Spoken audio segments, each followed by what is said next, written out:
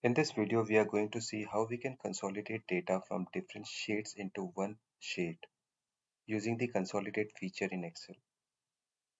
I've got some sales data in different sheets for four quarters starting from January to December. Each sheet has got the salesperson which are the same in all the sheets and they have got the headers as January, February, March till December. So quickly we'll see how we can consolidate the data from all these sheets into one sheet that is a consolidate sheets.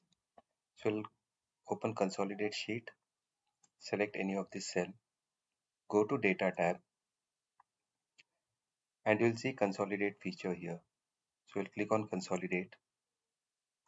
In the consolidate window, you will get to see the functions. So there are many functions like sum, count, average, max, minimum, but we are going to use sum function over here. There is an option of browse.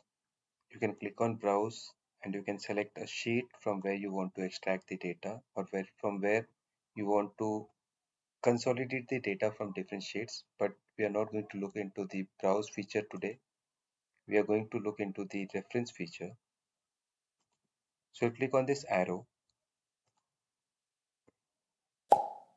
Go to the first sheet or the first quarter. We'll select the data.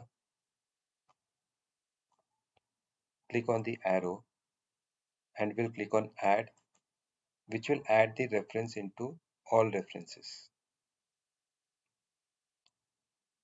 So to select the data from next sheet we'll just click on the next sheet or the other sheet or the other quarter and you will see that the data has already been selected. So we don't have to do anything. We just need to click on add over here and it will add the data into all references. Similarly we'll click on the third sheet or the third quarter. The data will be auto selected we need to click on add go to the fourth sheet. This data has already been selected. We'll click on add button. So all the sheets all the data has been added into all references.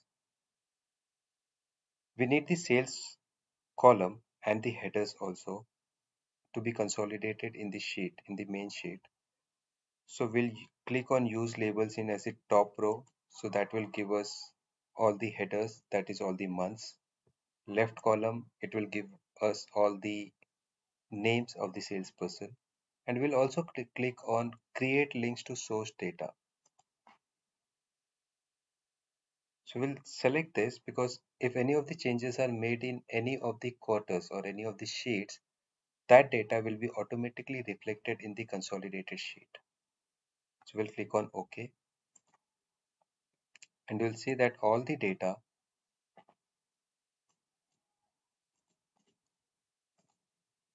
has been consolidated in one sheet. So April, May, June, July, August, September, Jan, Feb, March, October, November and December. And these are the salesperson and this is the data. So we also clicked on the link feature. Suppose I have to go to Jan, Feb, March and change the data here of Emily Davis in Jan as 100 if I go back to the consolidated sheet, you will see that the data for Emily has also been changed in Jan month here in this sheet. We'll again go to Jan, Feb, March sheet and change the data. You will see that the same data gets reflected over here. So that is how you can use the consolidated feature in Excel, which is very helpful to consolidate data from multiple sheets. I hope you enjoyed this video. If you did, do give it a thumbs up. Do subscribe if you aren't subscribed yet. I'll catch you in the next video.